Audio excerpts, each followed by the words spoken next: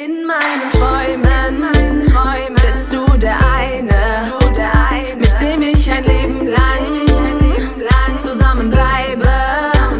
Du trägst mich auf Händen und bist immer für mich da. Dank dir bin ich. So ihr Lieben, wir sind wieder zu Hause. Erstmal willkommen zum neuen Vlog. Ich habe den Vlog eben beendet. Ich wusste gar nicht, dass ich weiter vloggen werde. Aber ich dachte mir, ich kann euch hier einiges zeigen, was wir jetzt bei Kaufland gekauft haben. Und zwar habe ich für Lina diese Baby-Schlupfhosen gekauft. Größe 98 104. Das hat, glaube ich, 6 Euro gekostet und die sind innen so weich. Also wenn ihr einen Kaufland in der Nähe habt, dann schaut mal vorbei, ob ihr das findet. Und die Marke ist echt der Hammer. Dann ist das das Set gewesen, was Mama für Lina gekauft hat für 5 Euro. Mit, dem, mit der Schüssel und der Gabel, äh, mit dem Teller. Moment, ich stelle das so ab. Dann haben wir Süßigkeiten gekauft. Wir dachten, wir kriegen morgen Besuch, aber wir kennen das doch nicht. Das ist bei uns aber nichts Neues. Wir kriegen immer Besuch, dann wird auf einmal abgesagt. Dann habe ich einmal Carfrey geholt, wieder mal. Dann habe ich einmal diesen, diese ätherischen Öle geholt. Einmal Orange, Minze, Vanille. Dann zweimal Fanta Exotik. Zweimal hat auch der Cola gekauft. Dann haben wir gestern diesen Hugo probiert äh, bei Kaufland. Der wurde uns angeboten. Leute, der schmeckt so, so, so lecker. Ich bin ja voll der Hugo-Fan. Super lecker. Also wir werden uns den morgen Abend auf jeden Fall gönnen. Der ist alkoholfrei übrigens, für die, die jetzt nachfragen werden. Ja, mehr haben wir auch nicht gekauft. Der Rest da ist äh, das, was halt ich bei Dingens geholt habe. Wie heißt das? Ernstings Family. So, ich packe das jetzt alles weg. Aufräumen. Ja. Das ist scharf, aber du kannst das mal probieren. Ja, dann probier es nicht. Papa hat dir gesagt, dass das scharf ist. Ja, Baba Lambari kaputt ab der Dämme. Aber das musst du dir abmachen, weil wir brauchen neue Glühbirnen, Schatz. Ja, Idee. Ja, annehmen. So, ihr Lieben, meine Broncos-Box ist wieder mal da. Ihr wisst ja, ich habe da ein Abo für die neuen Zuschauer. Aber ich glaube, diese Box werde ich wirklich abbestellen, weil es mir gar nicht gefällt. Da ist jetzt zum zweiten Mal wieder Schmalz drin. Das ist jetzt Schweineschmalz mit würzigen Grieben. Wofür zweimal? Einmal würde doch voll ausreichen. Dann haben wir hier Süßkartoffelcurry. Nicht meins. Ich glaube, das ist das Einzige, was man behalten könnte. Das sind jetzt ähm, Früchte mit äh, weißer Schokolade umgehüllt. Was ist das an dem? Marco. Potato Cup, Süßkartoffeln. Ja, okay, das könnte man jetzt zwischendurch für Lina machen. Dann haben wir hier zwei Riegel. Einmal Hafer, also mit Landfrüchten, das könnte man auch behalten, okay. Und das einmal mit Schokolade. Was ist das? Marco. Das ist eine Soße. Nee, das ist eine rote Linsensuppe, orientalisch. Okay, das ist auch okay. Was ist das, Schatz? Was zu trinken? Bio-Smoothie mit Bananen, Kokos und Datteln. Okay, das hört sich lecker an. Ich glaube, ich, glaub, ich nehme es zurück. Dann haben wir hier einmal Simply Chai Spicy. Ich glaube, das Tee. Was hast du hier rausgeholt? Und dann haben wir einmal hier pures Himbeerfruchtpulver. Achso, ich glaube, das kann man dann halt ähm, ja, in Joghurts, Desserts, Smoothies, Müslis, Eis und Cocktails reinmischen. Und das ist, glaube ich, Tee. Mmh, riecht gut, ne? Ja, Mama. Das ist Tee. Okay, also außer der Zwiebel, Zwiebelschmalz gefällt mir eigentlich alles. Ist runtergefallen, ne? Aber ich bin sowieso immer von der grünen Box mehr begeistert als die von der roten. Das wisst ihr ja mittlerweile. Das kann man jetzt wieder zuklappen. Ist auch runtergefallen.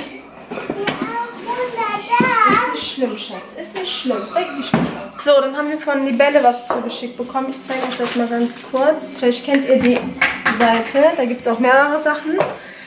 Ich habe mir jetzt die Sachen ausgesucht. Und zwar einmal Thymian Myrte Balsam für Kinder. Aromapflege auch für Säuglinge zur Pflege in der Erkältungszeit, dünn Brust oder Rücken einreiben. Ich denke mal, das ist sowas wie Wick. Deswegen habe ich das bestellt und haben das zu Hause. Dann einmal, das war so ein Dreier-Set, eine Baby-Bernstein-Kette. Traditioneller ähm, Schmuck. Den hat Lina nicht genommen, in, also beim Zahn, aber vielleicht... Äh, keine Ahnung. Ja, das ist von Baba. Dann haben wir hier so ein Baby-Holzgreifling für Lia. Einmal das. Und einmal so eine Veilchenwurzel. Das habe ich bei Lina nicht probiert. Das ist mit so einer Schnullerkette direkt dran. Äh, an einer Schnullerkette dran. Und dann haben wir hier so einen Wochenplaner to go. Den kann man dann hinten komplett beschriften mit ähm, zum Beispiel was ansteht oder was, was man an welchem Tag kocht oder so und was dann noch fehlt, was man noch kaufen müsste. Und das finde ich am geilsten, Leute. Das ist so eine Aufgabenliste für Kinder mit Belohnung. Ich zeige euch das mal kurz. Also hier ist so ein äh, Farbstempelkissen dabei. Dann ist hier zum Beispiel, dafür sind jetzt meine dann noch zu jung, ne? aber ich finde das so geil. Dann ist hier zum Beispiel, hier, du bist dran, Lina. Dann steht da, dein Zeug, Malbastelsachen, Schulsachen aufräumen im Wohnzimmer, Kinderzimmer, dein Geschirrspüler einräumen, ausräumen, Tisch abräumen, Müll rausbringen, Fahrradroller, Inline-Skates aufräumen, Schmutzwäsche in den Wäschekorb werfen, saubere Wäsche in den Schrank räumen oder hier Sonderauftrag, kann man dann hier eintragen. Dann ist hier so ein äh, Stempel mit so einer Libelle drauf. Und hier sind dann die Kärtchen dazu. Moment. Das sind dann die Stempelkarten. Und wenn das dann voll ist, warte Schatz, warte kurz. Gutschein für gesammelte Mithilfe. Dann kann man hier was ankreuzen. Ich lese das mal kurz vor, ich finde es voll geil. Hausarrest beenden, lange aufbleiben, Mama räumt mein Zimmer auf. Essen vor dem Fernseher. Zwei Stunden Wii spielen, zwei Stunden Fernsehen, zweites Taschengeld, Kino mit Popcorn oder Fastfood-Abend. Und unten kann man dann noch was eigenes reinstellen. Finde ich richtig cool. Ja, Schatz, das ist noch, du bist noch zu jung dafür. Achso, willst du die Kamera? Okay. Ich finde das richtig geil. Also, hat mir sehr gefallen. So sieht das dann aus, wenn man das dann einträgt. Das ist dann der Stempel, die Libelle. Ja. Dafür hat Lea ja noch ein bisschen Zeit. Aber ich habe gehört, Veilchenwurzeln sollen richtig gut sein zum Zahlen. Ja, Schatz. Ja, du musst was erzählen. Okay. Ich gebe mal Lena kurz die Kamera. Bitteschön. Aber pass auf, ja, Schatz? Ja, und da. Ja, du gehst runter. Vorsicht. So, da. Also, da. Bau den da. Da. Da. Hm.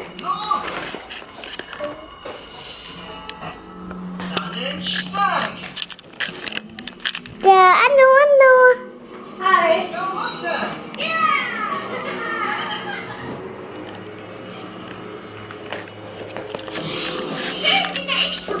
Es ist schön, nicht mehr du zu sein. Hallo, kleiner Vogelfreund. La, la, la, la, la, la. Nimm deine Medizin. Nein, ich will nicht. Was, äh, was ist hier los? Ja, genau, was ist hier passiert? doch aus. So, ich sortiere hier noch Linas, Elias Sachen. Ich überlege gerade, ob ich für beide ein ähm, Dingens benutzen soll. Eine Schublade für Pampers, aber ich glaube, das reicht aus. Eine Schublade, weil Lina soll ja auch Aufwände bald. Genau. Und äh, in einer Schublade sind halt die ganzen Bastel- und Bücher, also Bastelsachen. Übrigens, ich Vollhorn. Ich habe eine Babytrage bei, bei Kian. Also ich habe so eine Babytrage bestellt von bei Kay. Und ähm, ich habe gar nicht an die Farbe gedacht. Äh, Wir wollen ja Lia ab und zu mal tragen, wenn wir in die Arkaden oder so gehen. Die ist der Hammer. Also der Stoff und so ist Hammer. Ich habe den noch jetzt noch nicht umgebunden oder so. Das werde ich aber natürlich probieren. Ich zeige euch die mal kurz. Aber ich habe ich hab gar nicht an die Farbe gedacht, ne? Ja, tu mal dein Bein da weg. Ja. Moment, ich zeige euch mal ganz kurz. Und zwar, die Farbe ist richtig geil, okay? Also, aber ich habe gar nicht dran gedacht, dass Order die so nicht tragen kann oder wird. Und zwar ist das so eine Trage. Ja, ja das für Lia, ne? Ja, Die macht man dann halt so dran. Der hat auch so einen Kopf-Dingens für den Kopf. Den machst du so dran. Dann kannst du das oben umbinden und unten auch. Aber wie gesagt, ich, äh, Dümmerchen, habe mich an die Farbe gedacht. Ja, das wäre jetzt dann die Trage für mich. Jetzt müssen wir für Audel halt gucken, ne? Wegen der Trage. Was er da benutzen könnte. Aber der Stoff ist echt gut. Also wenn der euch gefällt, ich verlinke euch den mal gerne unten. Aber Audel meinte direkt, Schatz, das werde ich nicht umbinden. Ich sehe gerade, die Tücher hier sind auch echt lang. Ich muss mir das echt mal umwerfen und schauen, wie man den dran macht. Ja, Schatz. Ja. Und das sind halt die Polsterchen, die waren noch dabei. Ich bin mal gespannt, ob ich damit klarkommen werde. Ich hoffe, weil ich finde, wenn man in die Arkaden fährt, dann ist halt, ne, sowas immer perfekt. Der hat auch sehr gute Bewertungen. Ich habe mir die Bewertung natürlich durchgelesen. Und ja, jetzt muss ich schauen, was ich hier ähm, wegräumen kann und was ich äh, jetzt brauche und was ich nicht jetzt brauche. Beispiel die hier könnte ich auch jetzt schon mal auspacken. Die kann dann Lina schon mal benutzen, wenn wir rausgehen.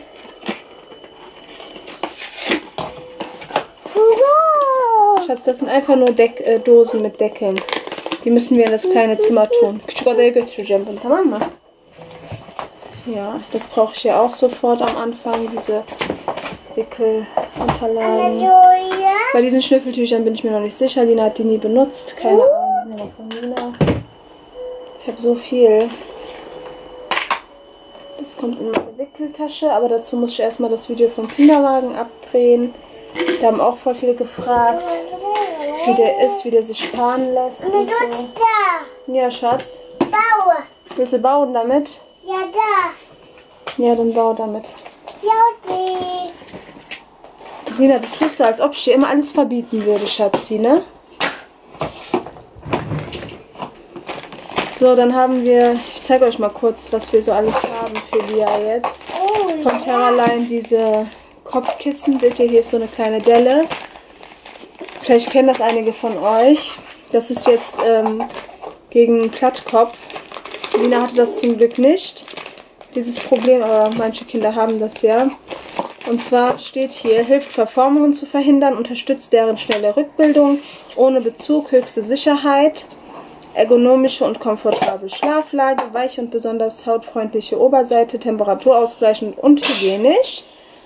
Das ist jetzt Größe 1 bis ca. 7 Kilo. Das. Und ähm, ich habe davon auch schon mal Größe 2. Das ist jetzt ab 7 Kilo. Genau. Ist halt dasselbe, aber halt für Kinder ab 7, ne? Ab 7 Kilo. Genau, das packe ich. Das, das braucht sie jetzt zum Beispiel nicht. Das könnte ich jetzt erstmal wegräumen. Und dann habe ich hier so Stillpads für Mamas. Da bin ich mal gespannt. Ihr wisst ja, ich will stillen. Und die muss man wohl auf die Brust kleben, damit das nicht äh, läuft. Die sind 100 bis 150, äh, 150 bis 200 äh, anwend an anwendbar. So. Ja, das brauche ich auf jeden Fall auch. Hier sofort dann. Ich glaube, die würde ich dann auch mit ins Krankenhaus nehmen. Das packe ich auch hier hin. So, das kann erstmal weg. Ich muss nämlich hier langsam sortieren, weil sonst... Dann habe ich hier so einen Babynasensauger von Fuxi. Äh, ja, ich habe sowas noch nie angewendet.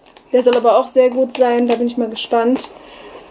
Ich hoffe natürlich nicht, dass meine Kinder krank werden, aber ich will das dann mal versuchen damit.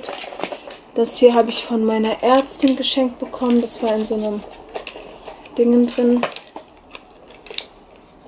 Klein Erik. Ja, ist so ein Holzspielzeug einfach. Aber Spielzeuge werde ich eh nicht mehr kaufen. Diese Babystuhl kennt ihr ja. Die habe ich hier von einer lieben Dame geschickt bekommen auf Instagram. Dann hier eine Babyflasche von Nook, die hatten wir auch zugeschickt, äh, nee, nicht zugeschickt bekommen, die hatten wir in so einer Box drinnen. Was haben wir denn noch? Das sind die ganzen Spielzeuge, was Mama und ich damals für Lina gekauft hatten. Ja, das war's auch. Mehr haben wir nicht.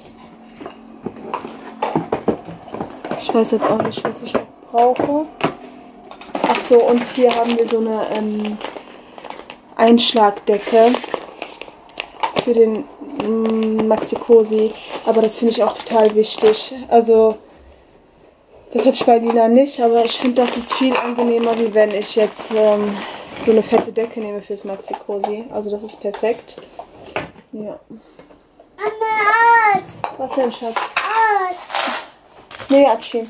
Eis. Achso, geht das nicht zu? So. Bitteschön. Also, Mama, Genau. Und meinen Koffer habe ich bei Mama auch abgeholt übrigens. Den muss ich jetzt die Tage packen. Ich habe bei Ernstings Family schon ähm, so Haremshosen und so für mich bestellt. Für, das, für meinen Krankenhausaufenthalt. Ja, wird langsam Zeit, ne? Aber der meinte, macht es lieber jetzt. Dann soll das hier rumstehen, anstatt dass wir das zu spät machen wie bei Lina. Weil bei Lina ist meine Fruchtblase geplatzt. Ich Idiot habe im Krankenhaus angerufen, meinte, muss ich jetzt kommen? Und die meinten, natürlich müssen sie kommen.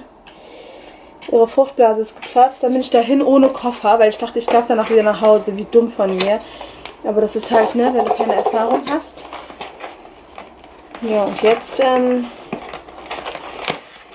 beim nächsten Mal, wenn das wieder so kommt, müssen wir auf jeden Fall die Koffer mitnehmen. Weil ich weiß noch, ich habe von meiner Zimmernachbarin die Jogginghose damals angezogen. Ich bin ihr total dankbar dafür. Sie war so lieb. Aber ihre Familie war ein bisschen durchgeknallt. Die waren laut. Ich war da, in, ich lag in Wehen, dann waren da vier, fünf Männer um mich herum, die ich nicht kannte. Und ich bin auch keine Person, die dann sagen kann, könnt ihr jetzt bitte raus, ich will meine Ruhe haben. Obwohl man das natürlich sagen muss, ne? Wenn man in den Wehen liegt. Ja, und danach ähm, haben die am Ende noch eine Flasche kaputt gemacht, so eine Wasserflasche, die, die ist ja aus Glas in den Krankenhäusern. Ja, dann lag bei mir unterm Bett voll viel Glas, das haben die auch nicht weggemacht. Und die Ärzte haben dann gesagt, komm, Frau Said, Sie können dann in, ähm, wow, Sie können dann in ein anderes äh, Zimmer und dann haben wir gesagt, wir nehmen direkt ein Familienzimmer, bevor wir wieder solche Leute kriegen. Ich finde das voll scheiße, wenn man nur an sich selbst denkt. Ich meine, da liegen noch ein, zwei Schwangere neben dir. Ja, du darfst nicht hopp machen. Was hat Baba gesagt? Nein. Nein, genau. Deswegen sollst du das nicht machen, ne? Nein, da. Nein, Schatzi. Du kannst gleich baden. Willst du gleich baden? Nein, da. Genau. Das zu meiner Schwangerschaft. Ich kann auch ein bisschen über meine Schwangerschaft erzählen. Für die, die das jetzt nicht interessiert. Äh, für, von meiner Geburt erzählen bei Lina. Ähm, und zwar war das so bei Lina, dass ich äh, über dem Termin war. Also fast fünf Tage oder so. Also Lina wollte überhaupt nicht kommen. Und dann hat meine Ärztin gesagt, ja, sie haben zu viel Fruchtwasser oder zu wenig, nee, zu viel. Ihr Kind wiegt über vier Kilo. Ähm, wir müssen halt, ne, einleiten. Und dann, Lina, ich habe Nein gesagt, ne? Ja, und dann ähm, haben die im Krankenhaus gesagt, sie müssen eingeleitet werden. Ähm, am 1.12. Kommen sie dann bitte ins Krankenhaus um 9 Uhr mit Koffer und allem drum und dran. Ja, ich habe dann total geheult, weil ich war total mit der Situation überfordert und ich dachte mir so, scheiße. Einleitung, Wehentropf, äh, Schmerzen. Weil wenn man den Wehentropf bekommt, sind das ja zehnmal so schlimmere Schmerzen, wie wenn du normale Wehen hast. Das hat meine Hebamme mir nämlich damals gesagt. Und dann ähm, ist in der Nacht, also am 30. oder 31. Also am letzten Tag vom November ist meine Fruchtblase geplatzt. Da saß ich mit Audet und ähm, boah, wenn ich dran denke, muss ich wieder heulen, ne? Äh, da saß ich mit Audet ähm, auf der Couch. Wir haben einen Film geschaut, ganz normal. Ich war natürlich voll aufgeregt. Dann bin ich aufgestanden und meine Fruchtblase ist geplatzt. Aber so, so ein bisschen halt, ne? Und ich meinte dann zu so, oh, der Schatz, ich glaube, meine Fruchtblase ist geplatzt. Und dann meinte der, was, was ist eine Fruchtblase? Oh Mann, das war so witzig, aber gleichzeitig hatte ich voll Angst. Und danach meinte ich, oh nein, ich muss mich jetzt schnell sauber machen. Was soll ich machen? Soll ich jetzt im Krankenhaus anrufen? Müssen wir ins Krankenhaus oder nicht? Und dann haben wir im Krankenhaus angerufen und die meinten, sie kommen jetzt sofort hier hin.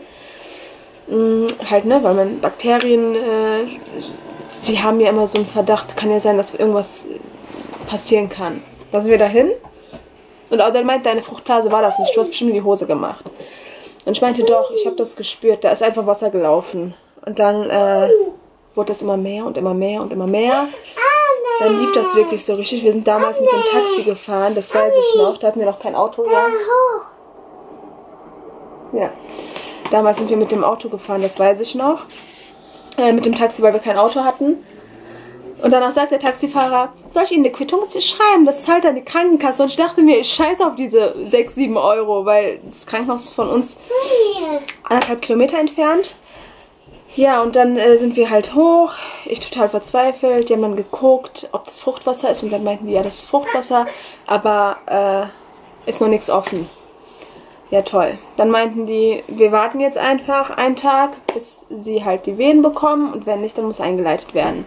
Und dann meinte ich, morgen sollte sowieso eingeleitet werden. Dann meinte äh, die Frau, ja, vielleicht haben sie ja Glück und die Wehen kommen von alleine, dann müssen sie keinen Wehentropf und sowas nehmen. Ja, dann waren wir im Zimmer. Kam nichts, kam nichts, kam nichts. Dann, ähm, am ersten haben die dann angefangen, am Abend, weil die halt Angst bekommen haben. Die meinten, ähm, nach 24 Stunden kann das halt risikohaft sein, wegen den Bakterien und so. Äh, wir leiten lieber ein. Dann habe ich halt so ein Zäpfchen bekommen und dann ist der irgendwann abgegangen, hat nichts gebracht. Dann habe ich irgendwelche Pillen oder ich erinnere mich nicht mehr so gut, äh, Medikamente bekommen, hat nichts gebracht. Und danach habe ich den Wehentropf bekommen. Aber ich hatte schon so ein bisschen Wehen, ne, währenddessen. Aber halt, bei mir war noch nichts offen. Und dann, ähm, aber in der ersten Nacht habe ich halt noch zu Audrey gesagt, komm, geh du jetzt nach Hause. Man darf hier nicht allzu lange da bleiben. Und ähm, ich war ja auch nicht im Kreissaal, ich musste ins Zimmer. Und der Mann muss dann, glaube ich, um 21 oder um 22.30 Uhr gehen. Ja, dann meinte er, ich gehe jetzt nach Hause, ruf mich an, wenn was ist. Ich, das Handy ist auf laut. Da hatten wir, glaube ich, 0 Uhr. Und dann war ich auf Klo und äh, ich habe das nicht mehr ausgehalten. Also ich hatte wirklich Wehen. Die waren noch zu ertragen, aber man hat ja Angst, ist hier die erste Geburt, man kennt es nicht. Ich kann wieder heulen. Oh.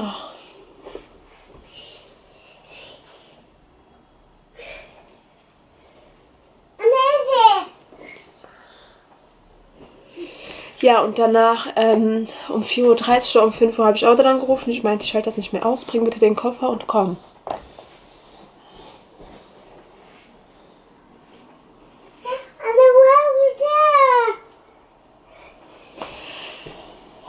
Boah, ekelhaft. Jetzt habe ich keinen Bock mehr zu erzählen. Aber wenn, ich weiß gar nicht, warum ich heule. Ich meine, so schlimme Schmerzen hatte ich jetzt auch nicht. Ja, auf jeden Fall ähm, habe ich dann zwei Tage später den Wehentropf bekommen. Lag dann auch in den Wehen, da war meine Mama auch da. Und dann hat sie, also dann hat die Geburt halt angefangen. Ich habe natürlich die PDA genommen, weil die Schmerzen waren so nicht zu ertragen. Meine Hebamme war zum Glück bei meiner Geburt dabei. Sie arbeitet nämlich auch in dem Krankenhaus. Ich hatte so Glück mit meiner Hebamme. Sie hat dann äh, eine Akupunktur gemacht, damit ich nicht reiße. Ähm, ich bin auch nicht gerissen. Äh, also meine Hebamme war wirklich so, Gott, so, so, so Gottes Segen einfach. Ich hatte eigentlich eine andere. So, auf jeden Fall hatte ich eigentlich eine andere Hebamme. Die hat uns dann aber abgesagt, weil ich nicht äh, zum, zur Geburtsvorbereitung wollte. Sie meinte, wenn sie, wenn sie das nicht machen, will ich sie nicht als meine ähm, Patientin. Dann habe ich gesagt, ja, dann nicht. Dann habe ich mir eine andere gesucht. Und ja, dann hatte ich sie. Sie war so lieb. Sie war die ganze Zeit erreichbar. Sie hat das Beste, also sie hat einfach alles, alles gemacht. Linas Kopf ist so wie ein Zylinder rausgekommen. Sie hat da irgendwas geformt und meine Mutter ist dann rausgegangen. Ich weiß noch, ich habe gar nicht äh, geschrien oder, äh, ihr kennt das ja, ne? Wenn man gebärt, dann schreit man meistens. Aber der meinte doch, schrei doch. Äh, aber der meinte dann, schrei doch oder sag irgendwas. Und ich meinte, ich muss nicht schreien, mir geht's gut. Wirklich, die PDA kann ich wirklich jedem nur ins Herzen legen. Ich hatte jetzt keine Nachteile oder so dadurch oder Rückenschmerzen danach. Ich weiß aber, was mich am meisten genervt hat. Meine Hebamme hat gesagt, wollen Sie einen Kaffee? Das war ja irgendwann um 3 Uhr nachts. Und dann meinte Audel und Mama ja. Und der Kaffee hat so stark gerochen. Ich habe die ganze Zeit versucht, nichts zu sagen. Ich habe nicht an mich gedacht, ich habe immer noch an die beiden gedacht, weil die sind ja ne, auch genauso kaputt. Ähm, und äh, ich meinte dann, ich kann den Kaffee nicht mehr riechen irgendwann. Und nach diesem Kaffee ist Lina dann gekommen. Und ich habe direkt angelegt und das war's auch. Also Wehentropf ist schlimm.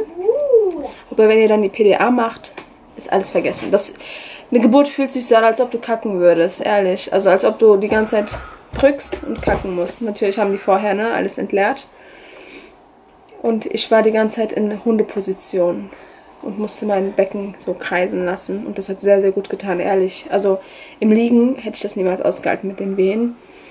Und jedes Mal, wenn eine Wehe gekommen ist, hat, siehst du das ja im CTG und ich habe immer gesagt, jetzt geht's los. Und Audrey hat auch gesagt, irgendwann musste der dann, okay, wenn es richtig hoch geht, dann kommt eine Wehe.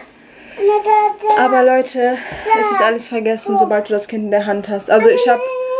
Soll ich das ausziehen? Ja. Ich habe gar nichts mehr mitbekommen vom, von der Nachblutung direkt nach der OP, also wo der Mutterkuchen rauskommt oder überhaupt diese Akupunktur, so habe ich gar nicht gespürt.